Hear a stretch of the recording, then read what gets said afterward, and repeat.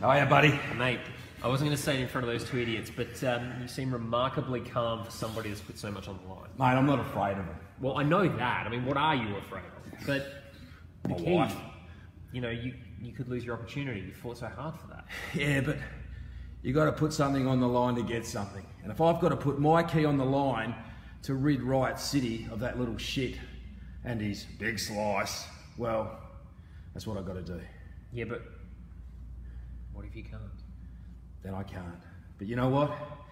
We're going to find out, aren't we? September 1, the fans of Riot City can be guaranteed one thing. I'm either going to win or I'm going to die trying. See you later, buddy. Take care.